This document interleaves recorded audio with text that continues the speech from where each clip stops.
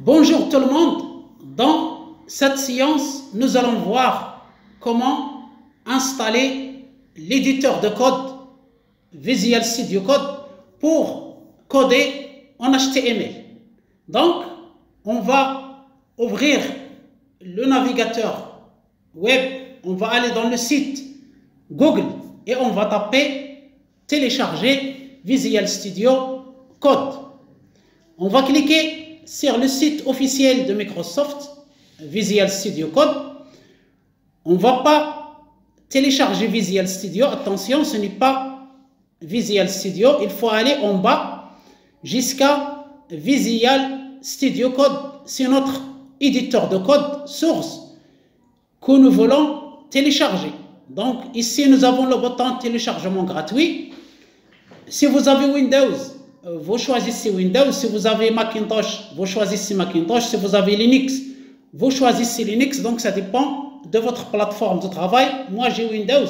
Je clique sur Windows et voilà, le fichier est téléchargé. Automatiquement, vous voyez le bouton de téléchargement euh, en haut à droite de l'écran. Ça, c'est euh, très vite passé. Donc, le fichier d'installation est téléchargé. Euh, je le site de Microsoft Visual Studio Code pour euh, des informations complémentaires si vous voulez de l'aide. Euh, comment utiliser ce logiciel gratuit, les premiers pas, le clavier, le téléchargement, etc. Donc, il y a plein d'informations en anglais, mais il y a la traduction en français, si vous voulez, tout en haut à droite. Donc voilà pour le téléchargement des fichiers d'installation de VS Code, Visual Studio Code, l'éditeur de code. Donc, vous le, voyez dans le, dossier téléchargement. Je clique deux fois, je vérifie qu'il s'agit d'un fichier sûr, c'est-à-dire il édité par Microsoft, euh, la société Microsoft, euh, il faut toujours faire attention à votre sécurité sur Internet. Donc, il faut télécharger les fichiers sûrs, c'est-à-dire dont vous connaissez la source. VS Code User Setup, la source c'est Windows, donc il est sûr, j'attends l'exécution de euh, ce euh, fichier d'installation. Donc voilà, tout de suite, il me donne les termes des contrats de licence logicielle. Donc, je lis le contrat d'utilisation, je lis les différents articles, puis je clique sur je comprends et j'accepte les termes des contrats de licence. Je clique sur le bouton suivant L'assistant d'installation m'indique le dossier par défaut pour installer le logiciel. Je ne, euh, je ne touche rien, je fais suivant, je ne change rien. Euh, aussi, euh, pour le raccourci, je fais suivant. Je, je coche la case créer une icône sur le bureau pour qu'il me crée une icône pour cliquer deux fois pour que ça démarre. C'est-à-dire pour ouvrir l'éditeur de code Visual Studio, puis suivant, il me donne qu'il est prêt à installer. Donc c'est très facile de l'installer. Je clique sur installer et j'attends la fin de l'installation. Euh, Windows prépare automatiquement l'installation de ce logiciel Microsoft Visual Studio Code qui nous permet de coder en HTML et de euh, développer nos sites web statiques et bien sûr euh, les sites web dynamiques. Mais comme son module s'intitule Développement des sites web statiques, on va commencer par les sites web statiques. Donc, euh, on attend la fin de l'installation. Il y a d'abord la phase extraction des fichiers. Donc, vous attendez, il ne faut pas cliquez sur le bouton annuler qui est en bas à droite. Il faut juste attendre la fin de l'installation de notre logiciel de développement de code, euh, code source, euh, notamment HTML, CSS et JavaScript pour le développement web. Donc on attend la fin de l'installation. Je vous rappelle que cette séance est réservée à l'installation de notre éditeur de code gratuit Visual Studio.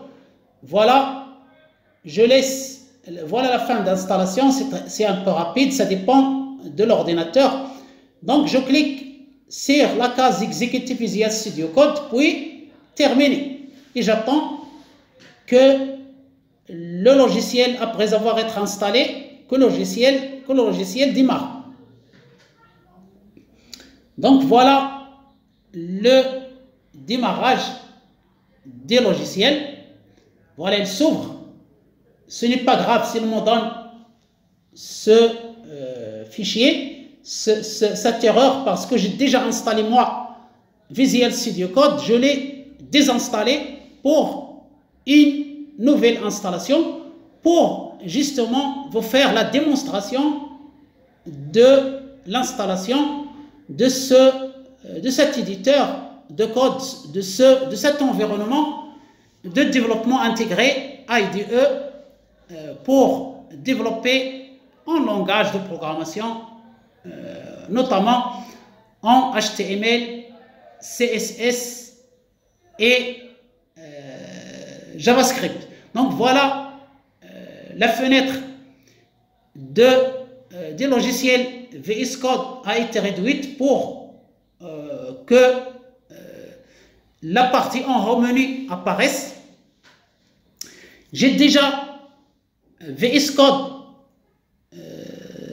en, français. Pourquoi? Parce que je l'ai déjà installé puis désinstaller. Donc, je l'ai en français. Il me donne automatiquement la version française parce que j'ai déjà installé l'extension langue française. Pour vous, si vous installez pour la première fois VS Code, vous allez installer la version anglaise. Donc, si vous, si vous trouvez le menu en anglais, File, Edition, etc., hmm, c'est très simple euh, de convertir l'affichage de l'anglais en français, je vais vous montrer dans quelques instants comment faire, donc c'est très simple. Donc voilà un peu les différents menus, les différentes commandes euh, de menus euh, de VS Code. Donc voilà, il y a tous les outils nécessaires au développement en HTML, en CSS et en JavaScript. Voilà la barre latérale où il y a les icônes, contrôle code source, exécuter, débugger, extension lorsqu'on veut installer les extensions, notamment l'extension de la langue française si vous n'avez pas la langue française. Donc vous appuyez sur l'extension, vous euh, tapez French et vous avez l'extension French Language Pack. Euh, for Visual Studio Code. Donc, puis vous cliquez sur installer. Donc, vous cliquez sur l'extension, puis à droite, installer. Moi, j'ai déjà installé cette, euh, cette extension et je vais vous montrer dans quelques instants comment basculer de l'anglais vers le français, du français vers l'anglais. C'est très simple. Donc voilà pour l'installation de Visual Studio Code. Voilà euh, la zone de travail qui est à droite, la grande partie où il y a euh, le fichier test1 euh, avec son chemin dans le document. Voilà, vous pouvez réduire les petites fenêtres, vous pouvez laisser l'espace de travail où vous allez coder. Donc, c'est dans cette partie ou bien cette zone que nous allons écrire notre code HTML. On va apprendre comment coder en HTML euh, petit à petit, pas à pas, jusqu'à ce que nous avançons dans euh, le codage en HTML, puis on va passer à intégrer le CSS et puis le JavaScript, pourquoi pas. Donc, nous allons aller doucement. Voilà donc pour la zone de travail. Oh, on va taper notre code, on va écrire notre code comme si on écrit des textes. Donc j'ai appuyé sur CTRL SHIFT P pour afficher les euh, préférences, c'est-à-dire pour les paramètres. Donc c'est ici qu'on va changer la langue, des français en anglais. Ici vous trouvez-vous, après l'installation, le menu en anglais, vous installez l'extension langue française, comme je vous ai montré, puis vous allez euh, appuyer sur CTRL SHIFT P et vous allez trouver ce menu où il y a configurer la, langue d'affichage. Donc je clique sur configurer la langue d'affichage et euh, nous avons français en cours, c'est-à-dire si l'option choisie. Donc je peux choisir l'anglais, je peux passer au français euh, sans euh, problème, sans difficulté. Par exemple, je clique sur anglais, il me dit, vous voulez redémarrer Visual Studio Code pour basculer vers English. Je clique sur redémarrer et vous allez voir le VS Code qui est en anglais, c'est-à-dire si vous installez pour la première fois en anglais, vous allez obtenir cette interface utilisateur. Vous allez trouver ce menu en anglais File, Edit, euh, Selection, New Text File, Undo, Redo, c'est en anglais. Donc, euh, ne vous affolez pas, c'est très simple. Ne cherchez pas une autre version en français ou quelque chose comme ça, c'est très simple. Vous appuyez à droite sur les extensions ou bien CTRL SHIFT X, vous, vous, vous tapez French, euh, French et vous allez avoir les extensions French Language Pack for Windows. Euh, à droite, vous allez cliquer sur Installer. Ici, c'est déjà installé. Euh, si vous cliquez sur Un install, vous allez désinstaller l'extension. Donc, vous laissez, euh, pour vous, vous cliquez sur Install. Moi, je laisse un install parce que je n'ai besoin pour les démonstrations ultérieures.